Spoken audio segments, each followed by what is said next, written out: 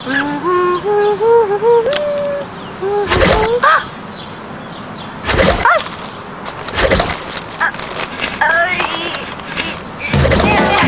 pagkaswabe ng aloe vera.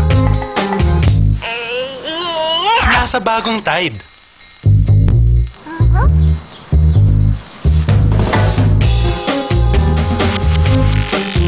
New Tide with aloe vera. Kompleto na. Swabe, di ba?